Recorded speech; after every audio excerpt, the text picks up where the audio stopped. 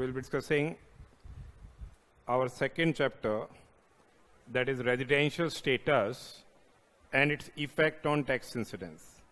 It is what residential status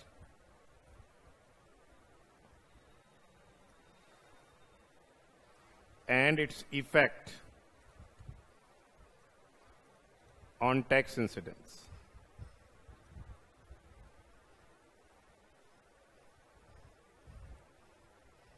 So here,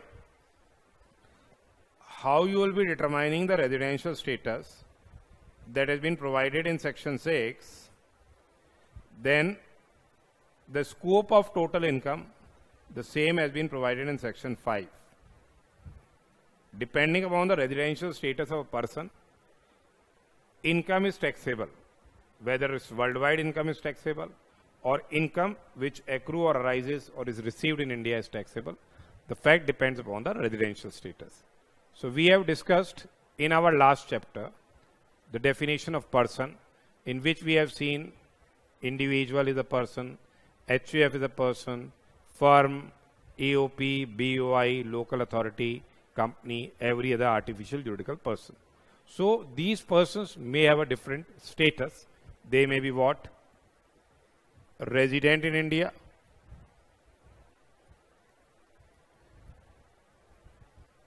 they may be not ordinarily resident in India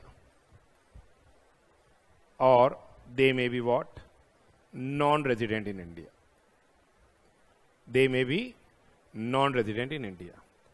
And uh, the scope of total income, that is basically the tax incidence, depends upon what? The residential status. This is basically section 5, that is scope of total income. So here it depends upon the residential status. So we will be now discussing the concept of residential status and uh, in this chapter we'll be discussing from section 5 to section 9. Section 5 as I have already told you scope of total income. Section 6 is residence in India. Then section 7 it is income deemed to be received. Section 8 that is dealing with taxability of dividend income which we will be discussing in income from other sources. And section 9 this is very important income deemed to accrue or arise in India. So now we will be discussing what first of all section 6 that is uh, the residential status and here as we have seen the residential status in case of individual or Hindu undivided family in case of individual and Hindu undivided family we have basically three status one is resident and ordinarily resident. One is not ordinarily resident that is provided in section 6.6. This is provided in section 6.1 and the person who is not a resident he becomes kya? a non-resident. So in individual and HUF we have basically three status.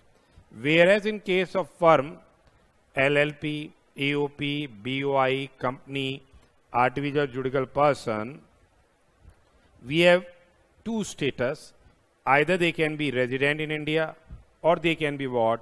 Non-resident in India. They may be resident or they may be what? Non-resident. So that is their status. Now why we are making a distinction a person is a resident, person is a NOR or person is a NR. Why we are making the distinction? We are making the distinction because uh, the scope of total income that is a tax incidence depends upon the residential status.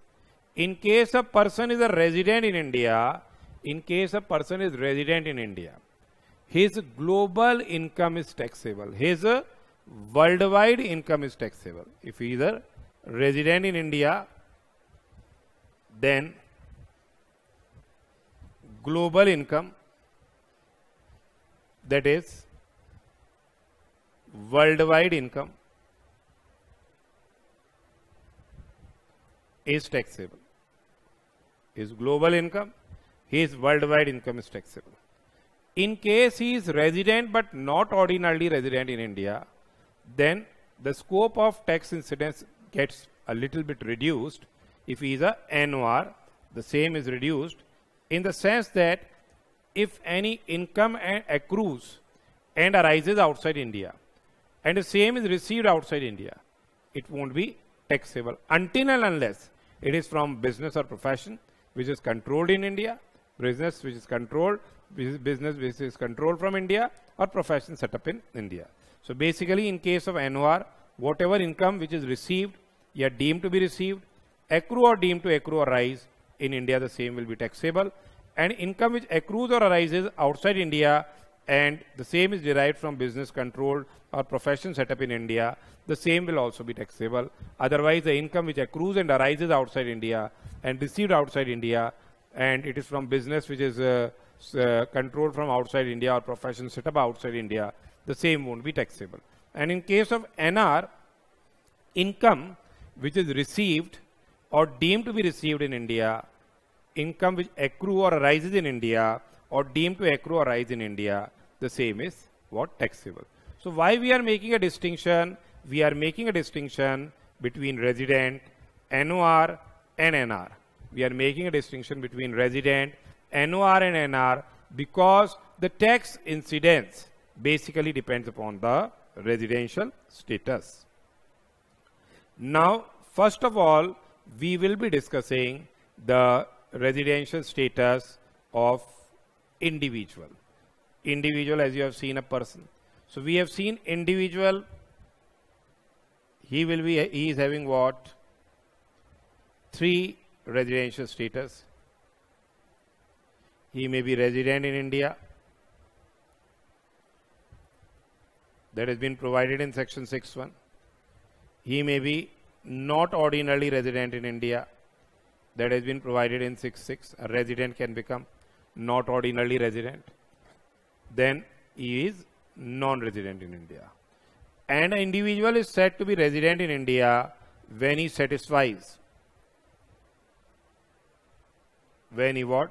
Satisfy one out of two basic conditions.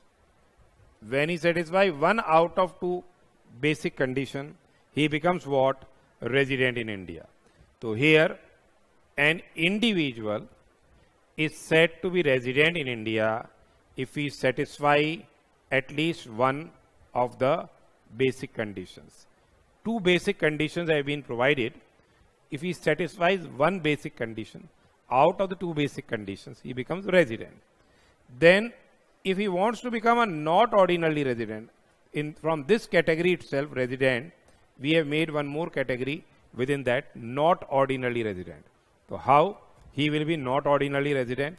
If he satisfies at least one of the two basic conditions, and he satisfies any of the additional conditions, any of the additional conditions which have been given in section 6.6 then a person who becomes a non-resident, if he is not deemed to be a resident in India, then he becomes a non-resident if he do not satisfy any of the basic conditions. And he is also not deemed to be resident in India.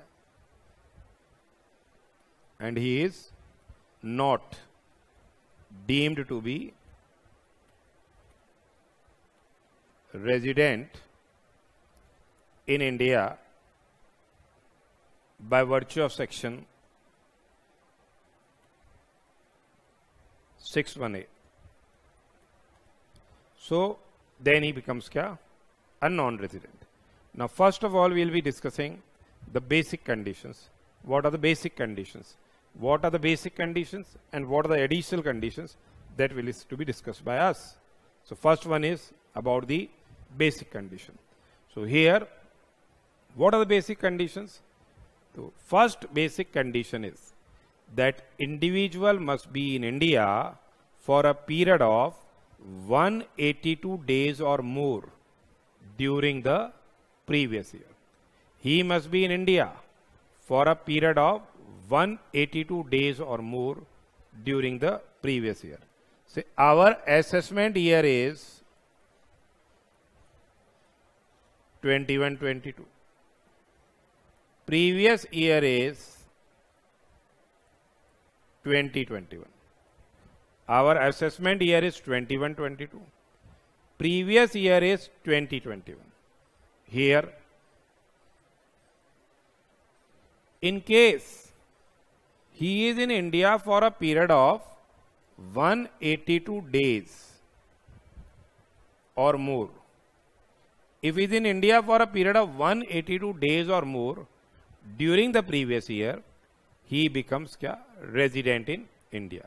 Now here we see that this is not necessary that he must be continuously staying in India during that year. He may come, he may go, he may come, he may go. But in aggregate, if he is in India for a period of 182 days or more, he becomes what? Resident.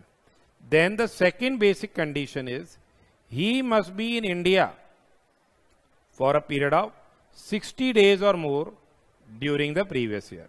So in previous year 2021 he is in India for 60 days or more. For 60 days or more. And in preceding 4 years in preceding 4 years that is 1920 18 19 17 18 and 16 17 16 17 17 18 18 19 and 19 20 in aggregate in aggregate is how many days? 365 days or more. So he is in india for a period of 365 days or more during the four years preceding the previous year. During the previous year, he is in India for 60 days or more. And in preceding four years, he is in India in aggregate for kya? 365 days or more. So the first basic condition is he must be in India for a period of 182 days or more during the previous year. The second basic condition is he must be in India for a period of 60 days or more during the previous year and 365 days or more during what? 4 years preceding the previous year. Now, as per explanation to section 6.1, they have provided an explanation. The period of 60 days gets extended to 182 days. Now, this condition will not be relevant for these persons. The 60 days period when gets extended to 182 days then condition number 2 is say not applicable.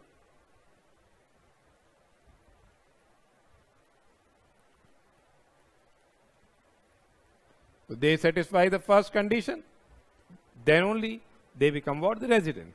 So condition number 2 is not applicable, in which case, in case of an Indian citizen, in case of an Indian citizen who leaves India during the previous year for the purpose of employment outside India, so if I am an Indian citizen, I am leaving India for the purpose of what? The employment outside India. I am an Indian citizen. I leave India for the period for employment outside India. Then in that particular circumstance, the period of what? 60 days gets extended to 182 days. So if I am in India for 182 days or more, then only I will become say resident if I am an Indian citizen who is leaving India for the purpose of employment outside India. Or in case of an Indian citizen who leaves India during the previous year as a crew member of an Indian ship. So if he is leaving India as what? As a crew member of an Indian ship, in that particular circumstance, the period of 60 days gets extended to what? 182 days. Then besides this, in case of an Indian citizen in case of an Indian citizen or a person of Indian origin, who is a person of Indian origin, who himself or his parents or his grandparents, they were born in undivided India. For that purpose also, if they are Indian citizen or a person of Indian origin who is being outside India, who comes to India for the purpose of visit to India, in that case also, the period of 60 days gets extended to what? 182 days. Besides this, and in case of condition number 2, the period of 60 days, it will get extended to 120 days. 60 days period gets extended to 120 days.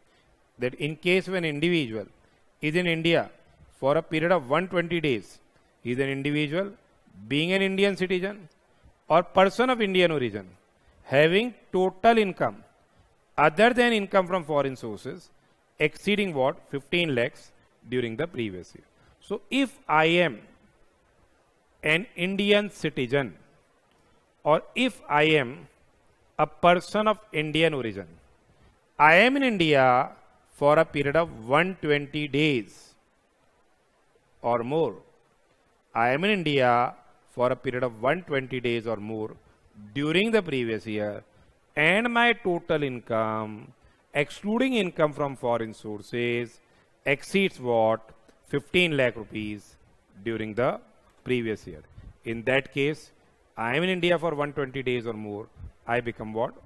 resident in india now basically what income from foreign sources means income from foreign sources means income which accrues or arises outside india except income which is derived from what business controlled in India or profession is what? Set up in India. If it is uh, income which has been derived from business controlled in India or profession set up in India, it won't be regarded as what? Income from so foreign sources. So what we are saying is, in normal circumstances, in case with is, is an Indian citizen or a person of say Indian origin who comes to India for the purpose of visit to India, then the period of 60 days gets extended to what? 182 days. However, in case of Indian citizen or person of Indian origin, basically his 60 days period gets extended to 120 days in case if he is an Indian citizen or person of Indian origin basically and he is having the total income in India excluding income from foreign sources exceeding rupees for 15 lakhs during the previous year. So basically this is a basic condition the first basic condition is he must be in India for a period of 182 days or more during the previous year. The second basic condition is he must be in India for a period of 60 days or more during the previous year and 365 days or more during the four years preceding the previous year. But 60 days period gets extended to 182 days in case of an Indian citizen who leaves India for the purpose of employment outside India or as a crew member of an Indian ship or in case of an Indian citizen or person of Indian origin who comes to India for the purpose of say visit to India and 60 days period gets extended to 120 days in case of an Indi Indi Indi Indian citizen or a person of Indian origin who is having say total income other than income which has been derived from foreign sources exceeding 15 lakh rupees in the previous year. Then when a person is deemed to be an Indian origin, a person is deemed to be an Indian origin if his parents or grandparents or if he himself was born where? In undivided India. And in case an explanation 2 has been there, which states that in case of an Indian citizen or a crew who is leaving India as a crew member of Indian ship, then for that purpose, the period of stay in India will be uh, computed in prescribed manner as per the rules made in this regard. It will be computed as per the rules which have been made in this regard. Then how you will be computing that we'll be discussing that computation of period of stay in India in certain cases it has been provided in rule 126 it is for Indian citizen leaving India as crew member of Indian ship. We say that he must be in India for 182 days or more for being resident. How we compute this period of 182 days, it has been provided in this rule. That is for the purpose of section 6.1. In case of an individual being a citizen of India and a member of crew of ship, the period or period of stay in India shall, in respect of eligible voyage, not include the period computed in accordance with the provisions of sub-rule 2. What period will not be included? Say from the date when he joins the duty and the date when he say has been given a discharge certificate in respect of his signing off that period will not be what? Included for the period of stay in India. That is period shall be the period beginning on the date entered into a continuous discharge certificate in respect of joining the ship by the said individual for eligible voyage and ending of the date entered into continuous discharge certificate in respect of signing off by that individual from the ship in respect of such voyage. So when he enters into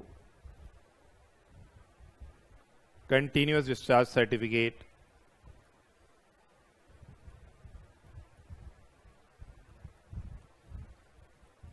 for joining the duty.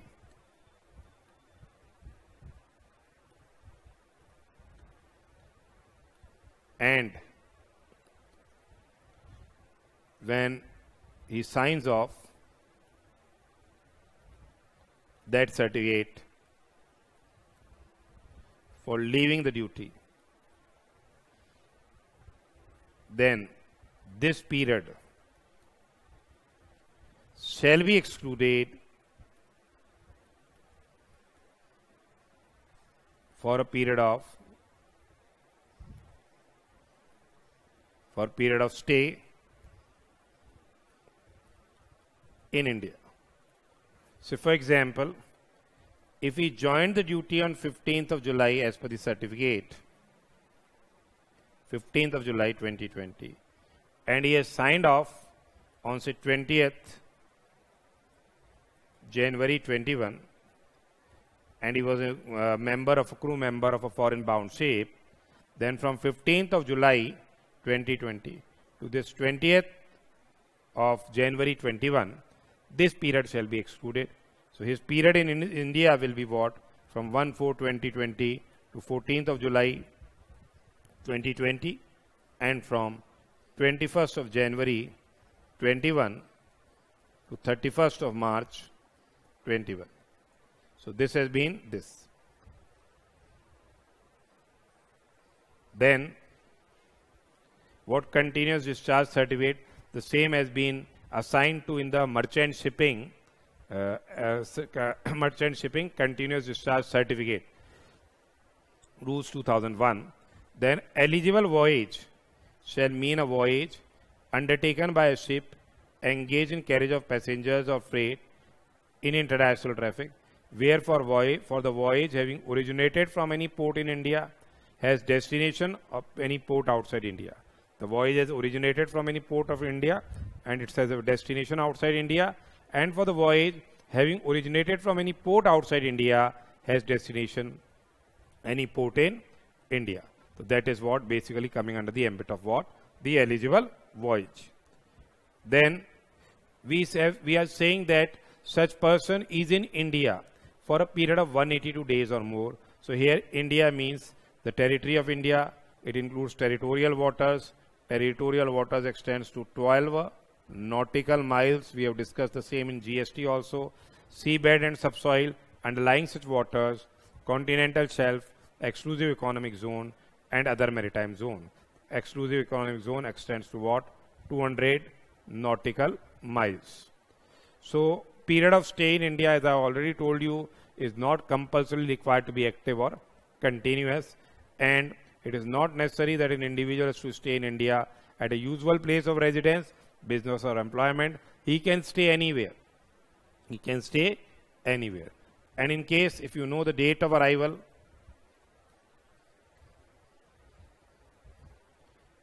as well as what? The date of departure.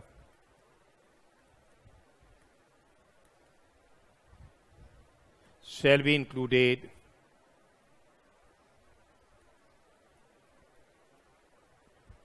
For stay in India.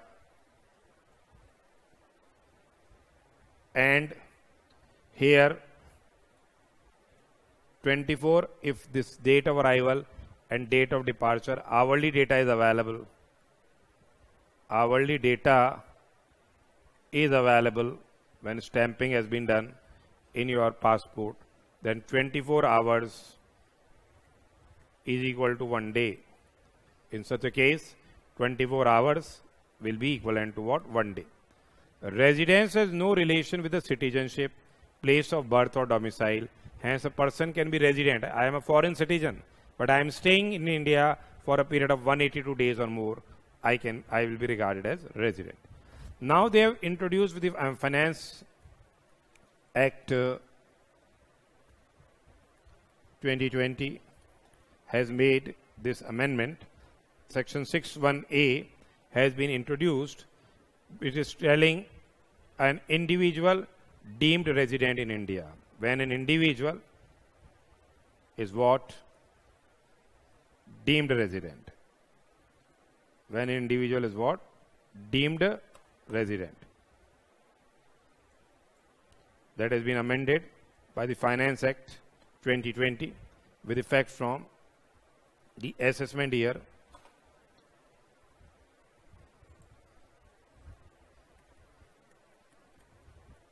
21 22 So here certain persons were there they were managing.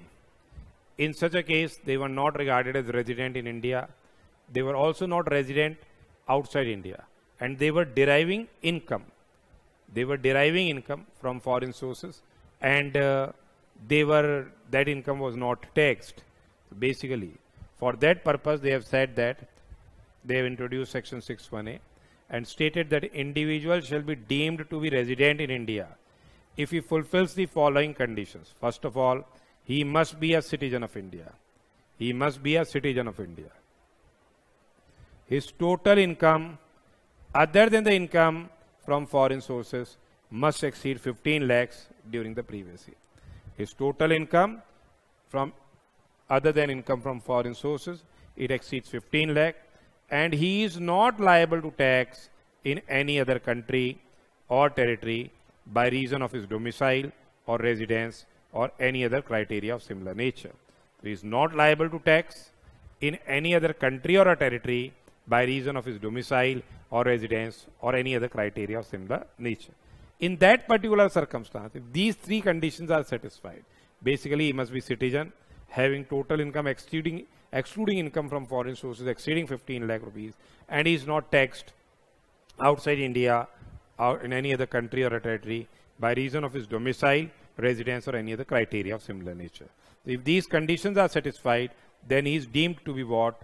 Not ordinarily resident. In such a case, that individual is deemed to be NOR. Basically, when he is satisfying the conditions of section 61A, under 6.6 it has been provided, read with 6.6.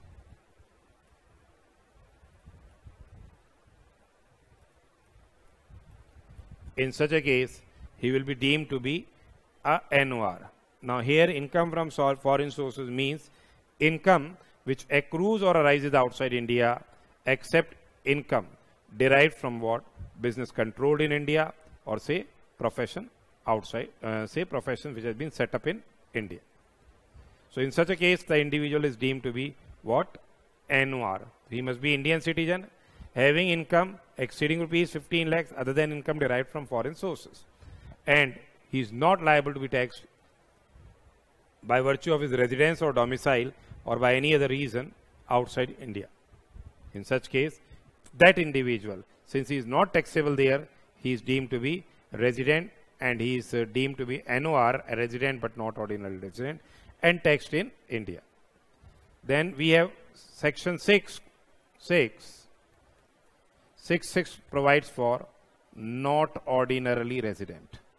So here the individuals resident individual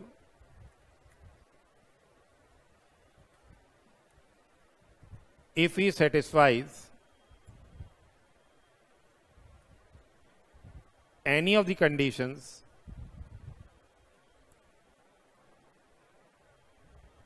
of section 6.6 if he satisfies any of the conditions of 6.6 he becomes kya?